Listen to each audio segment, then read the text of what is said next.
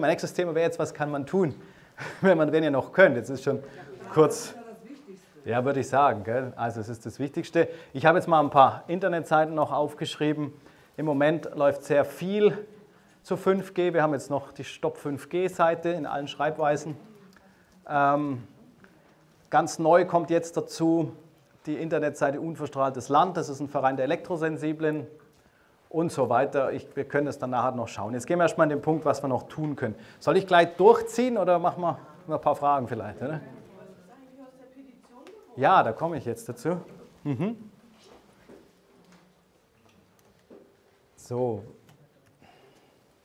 Also, wir gucken mal kurz rein, was können wir tun. Jetzt gucken wir erstmal den Stand an. Eben ähm, wir haben einmal die, die, Klagen, also die Mobilfunker verklagen jetzt gerade die Bundesnetzagentur. Das ist für uns natürlich schön, wenn die sich selber in die Haare kriegen, wäre auch eine gute Variante. Wenn man die Leute nämlich, wenn sie sich gegenseitig die Köpfe einschlagen, das finde ich natürlich die beste Variante. Ja, also diese Variante läuft gerade. Dann, ähm, es wurde schon angesprochen, Region Brüssel stoppt 5G. Ja. Ähm, ganz aktuelle Meldung von letzter Woche. Ähm, dort soll der Pilotprojekt 5G äh, umgesetzt werden und eben die, wo haben wir das Zitat von ihr, die Umweltministerin, wie man die auch richtig ausspricht, weiß ich nicht, aber die Umweltministerin von Brüssel sagt eben, ich kann eine solche Technologie nicht begrüßen, wenn die Strahlungsschutzstandards, die den Bürger schützen müssen, nicht beachtet werden, ob 5G oder nicht. Die Brüsseler sind keine Versuchskaninchen, deren Gesundheit ich mit Gewinn verkaufen kann. Wir dürfen da keine Zweifel offen lassen. Also Brüssel stoppt. Haben wir schon gehört. Es geht weiter. Kanton Waadt in der Schweiz stoppt ebenfalls Brüssel, jetzt 9.4., also auch erst ein paar Tage alt, die Meldung. Dann zieht gleich am nächsten Tag die, das Kanton Genf nach. Also es geht nicht um die Stadt allein, es geht um das Kanton. Ja, also das ist, ja, die Schweiz haben jetzt keine direkten Bundesländer, aber das ist praktisch jetzt das Kanton. Das ist also noch die zugehörigen äh, Flächen. Auch, also auch dort in Genf wird 5G jetzt gestoppt. Also das entwickelt sich schon. Dann ähm, Widerstand gegen die Handymaschen. Also wir haben im Moment, ich weiß nicht, ob das wird überall in den Pressen, in der Presse, falls im Süddeutschland ist das jetzt ganz stark. Es gibt überall Widerstand an den jeweiligen Funkmasten, nicht nur, also vor allem, im, also ich kriege halt immer den süddeutschen Raum mit, ich, also ganz ehrlich, wir im Süden haben immer so das Gefühl, dass im Norden nichts passiert. Aber? Ja, ist da was dran. Aber ich weiß nicht, ob das, ob das nur ob das nur von der Presse her so das Nord-Süd-Gefälle da bewusst auseinandergehalten wird. Ja, also es gibt jetzt ganz große Probleme. Die haben also Angst, dass sie ihr Funknetz nicht schaffen, weil der Widerstand so groß ist. So schreiben es die Zeitungen. Und genau, und jetzt eben, der Spruch gefällt mir so gut, das kommen wir gleich zu den Petitionen. Also je mehr Bürger mit Zivilcourage ein Land hat, desto weniger Helden wird es einmal brauchen. Also das ist mir ganz wichtig. Wir, wir sind alle, wenn wir die normalen Filme angucken, gell, ähm, ich sage mal die Hollywood-Filme, da gibt es immer einen Held oder vielleicht mal zwei oder vielleicht mal drei. Aber in der Realität sind wir gemeinsam, wir werden es nur gemeinsam stoppen. Es wird nicht den Helden geben, das denke ich nicht. Es wird auch nicht die zwei, drei, vier, fünf Helden geben oder die Bürgerinitiative, die es schafft. Das wird es nicht geben. Es wird nur gemeinsam möglich sein, dieses, das Thema unter die Füße zu kriegen. Und jetzt gucken wir uns das an die Petition vom 5.4. Wir haben es, also Petition, es wurde erreicht. Die Zeitung schreibt jetzt 56.643 Stimmen, von 50.000 waren benötigt. Die ganze Geschichte dieser Petition, ich weiß nicht, wie viel Zeit man da jetzt investieren wollen, aber es war sehr interessant, wie das abgelaufen ist. Ich habe mittlerweile mit, mit allem, es gab drei Petenten, ich habe mit, mit denen schon gesprochen. Ähm, der Hauptpetent ist eigentlich der, war der, der hat es wirklich gut hingekriegt. Und man hat denen lange verschwiegen, dass die Petition schon gestartet ist. Das heißt, wir, wir haben, am Donnerstag ist die abgelaufen und ich habe erst am Freitag mitbekommen, dass die Petition überhaupt existiert. Also ich denke, vielen ging es jetzt hier ähnlich, oder? Also wir haben auf den letzten Drücker, ich habe es am Freitag, dann habe ich ein Newsletter rausgeschickt, am Samstag. Ähm, erst da haben wir mitgekriegt, dass, dass die überhaupt existiert. Auch die Petenten, die die selber eingereicht haben, wussten das nicht. Man hat es lang rausgezögert und dann am Schluss, ich weiß nicht, wer alles die letzten Minuten da verglichen hat oder die letzte, ich war die letzten vier, fünf Stunden dran. Die Zahlen sind ja rauf und runter und rauf und runter. Ich weiß nicht, wer da alles. Das. Ja, du hast das. Du hast auch, genau. Äh. Genau, also er hat ein super Video gemacht, bei mir auf der Internetseite auch zu sehen. Ihr müsst es einfach mal gesehen haben, wie das dann rauf und runter ging. Also vor allem runter ging wieder, das war ja interessant. Und, aber es ist jetzt geschafft und jetzt sind wir mal gespannt. Problem. Die haben wohl mehrere Server, die sich nicht äh, schnell äh, synchronisiert haben. äh, genau. Genau, also wie immer war es natürlich ein technisches Problem. Ne? Aber also es kann wirklich ein technisches Problem sein, aber ich habe schon zu viel erlebt, dass ich da immer meine Fragezeichen habe. Okay. okay, die ist jetzt geschafft. Jetzt kommt die nächste. Wir sind jetzt dran und machen die für die, für die ganze EU. Das, das braucht aber dann EU-weit eine Million Stimmen. Ja, jetzt. ja, wie erfahren wir das? Das ist mein nächster Punkt. Ich habe nämlich jetzt die ganze Zeit überlegt, wie machen wir denn das? Wir, wir dürfen auf jeden Fall, werden sie uns werden sie wieder versuchen, die Leute auf den letzten Drücker hinzukriegen. Und das Erste, was ich euch empfehlen möchte, ähm, natürlich Vorschlag bei mir im Newsletter eintragen.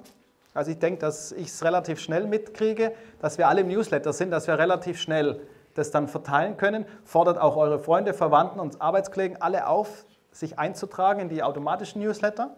Aber für euch selber privat, äh, der erste Schritt wäre, schaut in eure Adressbücher, optimiert eure Adressbücher, guckt, legt euch Verteilerlisten an. Wenn die nächste Petition kommt, dass ihr relativ schnell mit, mit also jetzt schon alles vorbereiten, dass ihr dann nur mit ein, zwei Knopfdrücken sofort, was weiß ich, hunderte von Leuten informieren könnt. Das wäre ganz, ganz wichtig. Das ist die Arbeit jetzt, die Adressbücher eben optimieren. Dann natürlich Interessierte suchen, sich mit denen kurz schließen, E-Mail-Verteiler machen, Telefonverteiler machen, äh, best natürlich noch persönlich, aber gucken, dass, man, dass die eigenen Netzwerke stehen. Weil der Uli Weiner aus, aus dem Schwarzwald allein wird das Thema nicht hinkriegen. Vergesst es. Also es gibt viele Helden, ihr seid die Helden. Ja? Also, ja. Für Deutschland EU-weit. Wir müssen eine Million EU-weit schaffen, aber äh, wir haben Sprachgrenzen. Also wir müssen gucken über die Sprachgrenzen hinweg. Wir haben ganz viel Unterstützung. Ich habe ganz engen Kontakt mit den Franzosen zum Beispiel. Ich habe auch eine Dolmetscherin, die meine Rundmails gehen auch auf Französisch immer raus. Ne? Also wir haben Frank Frankreich ist ziemlich groß und ziemlich stark. Wo ich noch gerade ein bisschen Probleme habe, ist im englischsprachigen Raum. Da kommt gerade so viel rein. Das schaffen meine Leute nicht. Also ich, ich bin gerade, also ihr müsst euch das so vorstellen, gell? Eigentlich ist es der kleine Uli allein im Wald. Das ist schon richtig. Aber mittlerweile, mittlerweile ähm, sind wir an einem Punkt angekommen, wo so viele Neuigkeiten über 5G in kürzester Zeit reinkommen. Und ich habe ein kleines Büroteam, aber das ist mittlerweile hoffnungslos überlastet. Wir sind jetzt ungefähr bei über 1100 E-Mails im Rückstand, obwohl wir jeden Tag arbeiten dran, jeden Tag, selbst am Sonntag. Also wir, wird jeden Tag E-Mails bearbeitet und trotzdem werden es nicht weniger. Ja? Und, und jetzt müssen wir einfach gucken, wer hat noch Kapazitäten. Ich frage auch gerade die Übersetzer. Wir brauchen noch, also wir brauchen wirklich, in meinem Büroteam brauchen wir noch ein paar Übersetzer, auch für den englischsprachigen Raum. Da haben wir nur zwei oder drei und die sind schon an der Grenze. Und jetzt eben mit der neuen EU-Petition, da, da, tun sich jetzt schon welche zusammen, aber wir brauchen natürlich auch die Spanier, Italiener haben wir auch schon ein paar.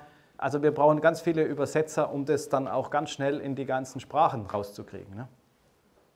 Also wer sich da freiwillig melden möchte, immer gerne. Was sprichst du? Na, Englisch. Na wunderbar. Also ich komme äh, gleich drauf zurück. Also, aber wie gesagt, denkt immer dran, das eine, mein Newsletter eintragen ist das einfachste und das schnellste. Das geht automatisch. Ja? aber schaut, dass ihr eure eigenen Adressbücher auf Vordermann bringt. Verstehst du? Dass ihr überlegt, wen nehme ich schon mal Verteiler vorbereitet für den nächsten Fall, dass es dann schnell geht, wenn es soweit ist. Aber vorher müssen natürlich diejenigen, die im Verteiler sind, auch alle die Problematik einigermaßen kennen. Ja. Denn die meisten oder viele sagen ja, was sind das wieder für Spinner oder ähnliches. Also die, die sich damit Ja. überhaupt noch nicht beschäftigt Ja. haben. Man das verteilt, dann sagen willst du Ja. machen? Also wir haben, wir haben genau dieses Problem. Wir haben ganz unterschiedliche Wissensstände und wir müssen jetzt einfach gucken, darum freue ich mich auch, heute, es wird heute aufgenommen. Ja, wir haben also wieder demnächst wieder einen, die Vorträge online, da könnt ihr es schon wieder per Links weitergeben. Ja, Eigenlob stinkt ein bisschen, aber was, was, was die höchsten Zugriffe hat im Moment, das, das Interview von Professor Buchner und mir im Europaparlament, in dies, diese Live-Sendung, da haben wir jetzt, sind wir jetzt auf Platz 1 bei NRW TV gekommen. Also das hat ganz hohe Zugriffe dort. Ich weiß nicht, hat jetzt nicht geschrieben, wie viel, aber ordentlich. Ja. Ähm, nehmt diesen, gibt es jetzt auch, der wird in, einem, in ein paar Wochen wird der nicht mehr auf, äh, dort in der Mediathek sein, aber wir haben es auch bei Funkwissen hat's drauf. Ich mache auch gerade immer mehr bei Funkwissen Kurzfilme, um diese Sachen in Kürze zu erklären. Das ist ja das Hauptproblem, erzählen kann man stundenlang Genau, drüber, aber, genau. aber das in, in wirklich, also den kürzesten Film, den es jetzt gibt, wo ich 5G erkläre, geht ungefähr 20 Minuten in Kurzform. Hat nicht alle Infos, aber für jemanden, der noch gar nie was davon gehört hat, vielleicht mal ein Einstieg. Ja? Also, dass wir in Kurzform äh, gehen, da will ich noch mehr dran arbeiten, das noch ausbauen. Ähm, dann Stop 5G hat noch ein paar Sachen drauf. Okay, das sind dann, und meine Homepage versuche ich natürlich immer so. so Da ist ja auch drauf. Ja, aber meine Homepage ist auch drauf. Also, also, dieses, also dieses Interview, ich habe so viele Rückmeldungen, ich, ich bin ja öfters, bin ab und zu mal, also ganz selten mal im Fernsehen oder immer wieder mal, aber von diesem, diesem Interview habe ich die meisten Rückmeldungen gekriegt. Also auch Leute, die noch nie äh, dachten, dass das problematisch ist mit diesem 5G, sagen, seit sie das Interview gesehen haben, sie es verstanden. Ob so gut ist, müsst ihr beurteilen. Ich kann es nicht einschätzen, ähm, aber probiert es, verteilt diese Filme. Dann ganz neu eine Infoschrift, die ist sehr gut. Leider habe ich die jetzt nur in Schwarz-Weiß dabei. Ich konnte sie nicht mehr, da haben wir schon 100.000 gedruckt vor, vor drei, vier Wochen, die sind schon weg. Also ähm, könnt ihr auch bei mir runterladen dann. Da ist das 5G nochmal ganz kurz erklärt mit, mit Quellen. Unten sind auch viele Quellen. Weil das ist immer wichtig, die Leute, die es nicht glauben, die, die brauchen Quellen. Weißt du, die, die muss man, ihr müsst die vollpacken mit Quellen. Ich habe letztens kam auch einer und sagt, oh, Uli, du sagst 800.000 neue 5G-Antennen, das ist eine Verschwörungstheorie. Ich sage, ja, dann fragst dann, wenn, wenn du die Tagesschau für verschwörungstheoretisch haltest, finde ich das nicht schlecht. naja, versteht ihr meinen Spaß? Nein, mein Humor. Also es war eine Quelle der Tagesschau, wo es sagt 800.000. Und das ist immer gut, wenn wir Quellen haben, was die Leute eben verstehen. Also ich, ich würde mir nie trauen, bei mir auf der Homepage was zu veröffentlichen ohne Quellen. Ja. Also hier könnt ihr mal, ich habe nur 30, 40 noch dabei in Schwarz-Weiß, die gibt es auch bald wieder in farbig. Gibt es als PDF, könnt ihr runterladen, weiterleiten, ausdrucken, ganz, ganz alles, was, was euch einfällt. Ja. Okay, ähm, gehen wir wieder rein. Also das wären eigentlich so die, die drei äh, Gedanken. Wo waren wir? Beim, bei dem waren wir, genau. Das waren so meine, also wie gesagt, die Leute aufmerksam machen mit den einfachsten Mitteln. Die einen schauen lieber einen Film, die anderen lesen lieber eine kleine Broschüre, die einen lesen vielleicht nur so einen kleinen Zettel vor der Rückseite. Versucht im Freundeskreis, bei den Verwandten, bei den Arbeitskollegen, schaut, stupst die an. Wenn sie nicht hören wollen, lasst sie. Nur ganz anstupsen, wenn sie reagieren und zuhören, dann redet weiter. Wenn sie nicht reagieren, dann redet über das Wetter.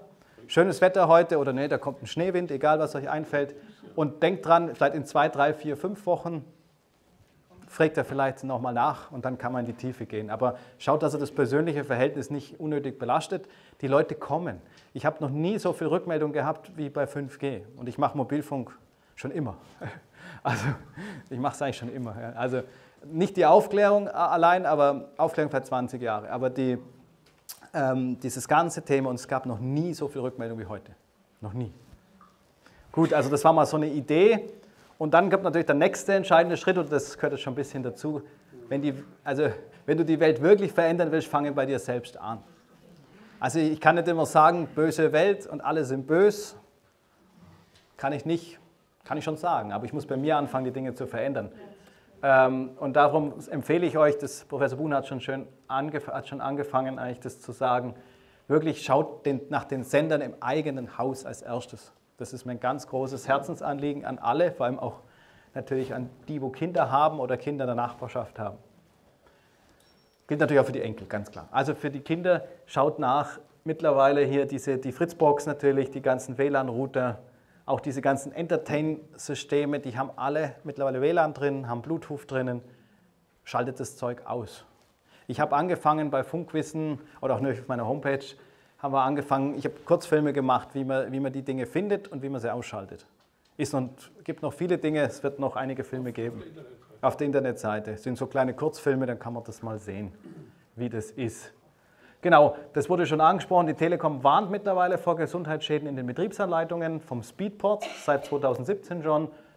Und da steht wörtlich drin, vermeiden Sie das Aufstellen Ihres Speedsports in unmittelbarer Nähe zu Schlaf-, Kinder- und Aufenthaltsräumen. Dann fragen mich die Leute immer, wo soll ich denn meinen WLAN-Router hinstellen? Eben nirgends. Also den WLAN-Router bitte das WLAN abschalten. Beim Strom, also hier beim Decktelefon eben auch hier die Dauerstrahlung abschalten, im Idealfall auf Kabel umsteigen. Das muss man immer sagen. Gut, da haben wir es mal zusammengefasst. Also verkabeln alle Geräte, eben schnurgebundenes Telefon, Internet über Kabel, legt eure PCs an Kabel. Hab ich ich habe es noch nie anders gemacht, ich kenne nur PC am Kabel. Ähm, geht viel schneller das Internet, viel zuverlässiger oft als über WLAN. Wir- Wirklich überall schauen, wo ist WLAN drinnen, wo ist Bluetooth eingebaut. Also Fernseher habe ich jetzt hier mal aufgeführt, Feuermelder, abgesetzte Lautsprecher, Staubsauger, Waschmaschinen, Kühlschrank, Kopfhörer. Ähm, Im Auto, ganz wichtig, im Auto, diese Bluetooth-Systeme im Auto, die sind wahnsinnig, also ich finde die wahnsinnig von der Strahlung. Die muss man ausschalten, unbedingt. Und dann empfehle ich wirklich, wir gehen jetzt im 5G halt in eine ganz andere Phase noch rein. Ich empfehle wirklich, an Verbraucherboykott euch zu beteiligen. Ich rufe dazu noch demnächst zu Ostern auf. Wir gehen jetzt ganz aktiv in den Verbraucherboykott und sagen wirklich, Handy, Smartphone abmelden und keine Mobilfunknummern mehr anrufen. Weil mit jedem Anruf, den ich in einem Mobilnetz mache, gebe ich den Industrie ja wieder Geld, um die Netze aufzubauen. Das ist ganz einfach. Ich erinnere mich da immer, könnt ihr euch noch erinnern, damals in der Bre die- diese Geschichte mit der Shell-Bohrinsel, die brennt Spa. Wer weiß das noch? Ist schon ein paar Jahre her, gell? aber wir erinnern uns. Die Leute sind nicht mehr zu Shell gegangen und haben bei Shell nicht mehr getankt. Und diese Insel ist bis heute nicht versenkt. Also der Verbraucherboykott, der hat immer was gebracht, weil ich entscheide mit meinem Verhalten, was produziert wird. Oder klassisch, äh, ein anderes klassisches Beispiel ist natürlich das ganze Thema mit Bio. Äh, Die Bioläden, die ganze, selbst Aldi hat ja seit einigen Jahren Bioprodukte. Wäre vor 20 Jahren noch kein Thema gewesen. Ja. Aber wie viele Leute haben heute noch Festnetz? Die meisten haben, oder ganz viele haben wirklich nur noch Mobilfunknummer. Also die Also Aufgabe kann ich keinen Kontakt mehr halten. schwer. Also was heißt schwer? Man muss andere Wege finden.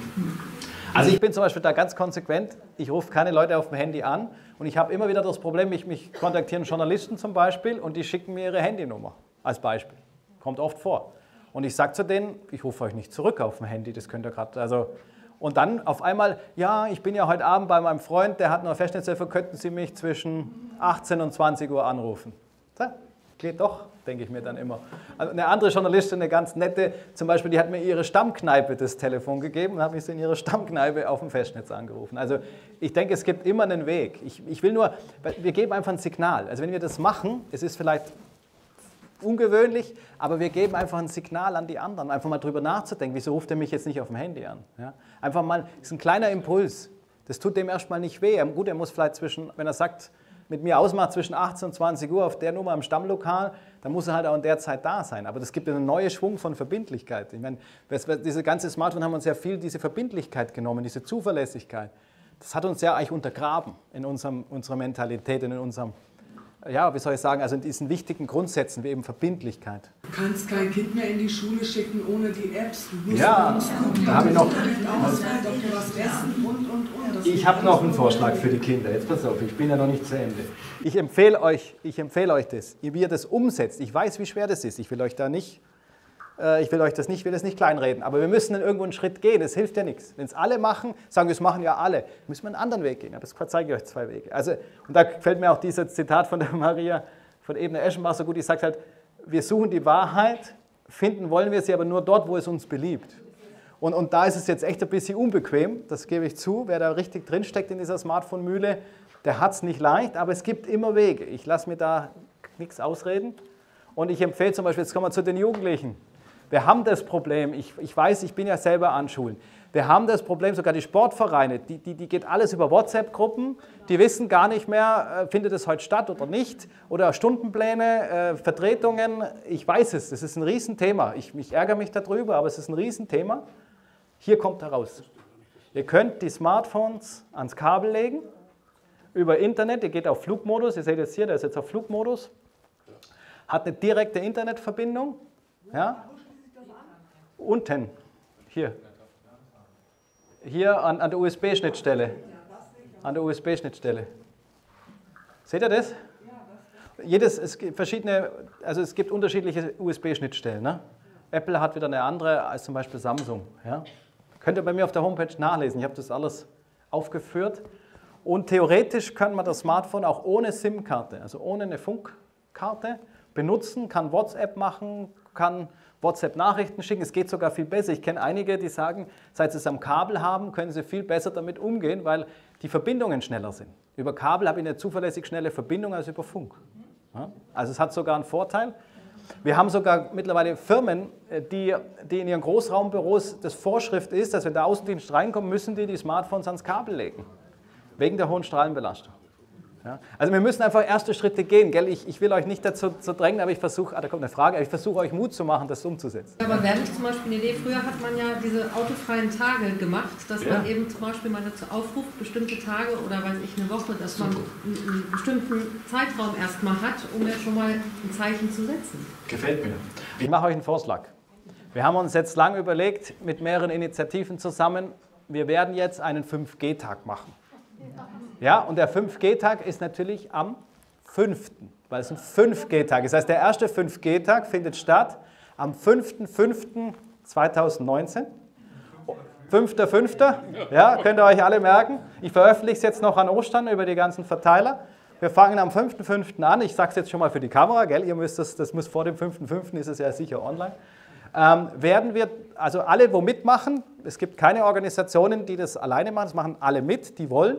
Die nicht wollen, denen kann ich auch nicht helfen, aber ich denke, wir machen alle zusammen, wir machen Aktionen an dem Tag, wir machen Stände, also Infostände an dem Tag, würde ich sagen. Eben das mit dem Handyverzicht gefällt mir sehr gut, das werde ich auf jeden Fall empfehlen. Wir machen einen handyfreien Sonntag, wie die autofreien Sonntage damals, ja, in der, in der Ölkrise. Ja. Also ihr könnt euch, lasst euch was einfallen, gell? ich bin für mehr Ideen noch zu Also alle Ideen, wenn noch Ideen kommen, bitte mir schicken, weil ich würde die dann zu Ostern an alle schicken. Machen wir einen ersten 5G-Tag und der nächste 5G-Tag könnte man dann machen am 5.6. Ja, also dass wir jetzt einmal im Monat, immer am 5. einen 5G-Tag machen. Es halt einfach darum, wir senden halt mit dem, was wir tun oder nicht tun, einfach ein Signal aus. Ne, Das war jetzt sehr funktechnisch ausgedrückt, aber ich bin halt Funktechniker. Gell? Also, also wir senden ein Signal. Also mit allem, was wir tun oder nicht tun, geben wir einfach ein Signal praktisch in die ganze Gesellschaft und darum ist es so wichtig, da Schritte zu gehen. Gut, geht natürlich auch für Tablets, gell? also dass ihr das mal gesehen habt, nur technisch kein Problem. Auch Tablets lassen sich verkabeln. Gut. Ja, dann können wir noch weitergehen. Ich weiß nicht, wie weit wir noch reingehen heute. Das Wichtigste haben wir eigentlich schon. Das ist auch ein Spruch, der gefällt mir sehr gut. Der Kluge sieht das Unglück und verbirgt sich, beziehungsweise, wenn man es anders übersetzt, bereitet sich vor. Und die Unverständigen, Unerfahrenen, Einfältigen aber gehen weiter und müssen es büßen. Also, es hat König Salomo gesagt, den, Spruch gefällt mir gut. Je nach Übersetzung kann man es ein bisschen anders mit anderen Worten belegen. Aber wichtig ist, der, wo die Dinge sieht, dass er sich einfach vorbereitet, so gut er seine Möglichkeiten hat. Und daher die Frage, wie schützt man sich von außen? Also wenn die Strahlung von außen kommt, das war vorhin schon ein Thema. Und wir haben sehr viel Strahlung von außen, das war mal so, ein, so eine Grafik. Also Fernsehen, Rundfunk, Radar, Mobilfunk und die ganzen Schnurlostelefone und so weiter. Entscheidend ist immer, was kommt beim Menschen an. Dann die Strahlungsart natürlich, der Strahlungsmix mit anderen Funkdiensten, also das wissen wir eben von den Elektrosensiblen und aus Studien. Die Mischung aus den verschiedenen Funkdiensten macht eigentlich das Ganze so gefährlich. Also wenn es jetzt nur ein Funk wäre, wäre das wahrscheinlich kein Problem, aber die Mischung aus den, wir haben jetzt schon zehn Handynetze, also die Mischung aus all dem und natürlich dann die Zeit und wenn es dann 24 Stunden, sieben Tage die Woche, wird es richtig problematisch. Ja, jetzt komme ich ganz anders rein. Ja? Nein. Also die meisten Navis es haben nur einen Empfänger, die haben nur einen GPS-Empfänger und senden aber nicht ab. Nur bei den modernen Autos haben diese Mittel, diese, diese großen Multimedia-Konsolen halt oft Bluetooth drin. Das müsste also im Auto ausschalten. Bluetooth aus. Okay. Gut, jetzt bin ich ein bisschen die Folie, wo- wusste jetzt gar nicht, dass ich da drin habe. Egal. Aber nochmal kurz hier das Bild. Ähm, so strahlt eine Antenne ungefähr ab. Die kommt also runter. Also diese Lüge, dass die Strahlung nur oben wäre, aber der Professor Buhn hat schon schön erklärt. Also ich erlebe das oft, ich bin auf so Podiumsdiskussionen, ich bin oft draußen, wo Türme gebaut werden und dann kommt der Mobilfunker und sagt, die Strahlung ist nur oben. Und dann frage ich immer die Leute und sage immer, habt ihr alle fliegende Handys? Dann schauen sie mich immer an, wieso fliegende Handys? Naja, sage ich, wenn die Strahlung nur oben ist, dann müsstet ihr doch fliegende Handys haben, damit ihr oben Empfang habt. Dann lachen sie immer und dann haben sie es verstanden. Also, die Strahlung kommt logischerweise nach unten. Muss sie ja, sonst bräuchte ich es ja nicht. Ne? Gut, wie schütze ich mich? Ähm, das war mal so eine Aktion mit einem Strahlenschutzgitter, gibt es in verschiedenen Ausführungen. Ja, also das ist jetzt vielleicht nicht immer die Dauerlösung, aber das war zum Beispiel eine sehr interessante Geschichte hier. Im, im, also im, Fränkischen ist es, ihr seht hinten den Mobilfunksender links auf dem Gebäude und das Dorf liegt praktisch hier unten Das ist ein bisschen, nicht, nicht Norddeutschland, ist halt ein bisschen topografisch anspruchsvoll. Und die mussten also mit dem Mobilfunkturm, um das Dorf unten zu erreichen, durch dem sein Wohnzimmer praktisch funken. Das fand er nicht so, also war nicht so gut, die Leute wurden krank in dem Haus. Und dann haben sie eben diesen Mast, also diese, dieses Gitter dahin gebaut. Und dann hatten die Leute unten im Dorf aber keinen Empfang mehr. Oder keinen guten mehr. Und dann hat der Mobilfunker die Antenne wieder erhöht, um über das Gitter zu kommen. Und da hat er das Gitter dann nochmal erhöht. Also das war dann so ein Wettrüsten. Aber da hat man mal gesehen, es hat funktioniert. Sonst hätte der Mobilfunker sein, sein Ding nicht erhöht. Und natürlich nicht schön so zu wohnen, aber, aber ein Weg. Ne? Oder die klassischen Strahlenschutznetze über die Betten, das ist jetzt ein Kinderbett als Klassiker, ist möglich. Da sieht man es nochmal für ein kleineres Bett. Also das ist technisch möglich. Das ist ein Stoff aus Silber, ähnlich wie der vom Schutzanzug. Also das ist ein Silbergewebe, ein spezielles. Kommt natürlich alles aus der Militärtechnik. Also die Militärs, Geheimdienste und so weiter wissen natürlich Bescheid. Ne? Gut, dann Farben, Abschirmfarben für die Häuser. Also ihr müsst euch das mal vorstellen. Ich, hab, ich weiß nicht, wie es hier im Norden ist, aber wenn ihr das stellt euch mal im tiefsten Bayern vor, da auf einmal kommt der Nachbar und streicht sein Haut schwarz. Ich weiß nicht, was hier in Norddeutschland passiert, aber in Süddeutschland, da, da hat man da gleich die ganze Versammlung aller Nachbarn vor der Haustür. Ja, bleibt es so, ist die erste Frage. Bleibt es so? Ja, was macht's denn ihr da? Wird er vielleicht auf Bayerisch sagen. Aber also bleibt es so. Natürlich kann man auch weiß wieder drüber streichen, gell? aber das zieht auf jeden Fall schon mal die ganze Aufmerksamkeit der ganzen Siedlung auf sich. Ne? Aber funktioniert ziemlich gut, aber bitte die Fenster nicht vergessen. Die Fenster sind auch entscheidend. Gut, interessant in dem Zusammenhang, die Bundesregierung sagt, Strahlung ist ungefährlich. Das Bundesfinanzministerium sagt, Strahlung, äh, Strahlenschutzmaßnahmen können abgesetzt werden von der Einkommensteuer.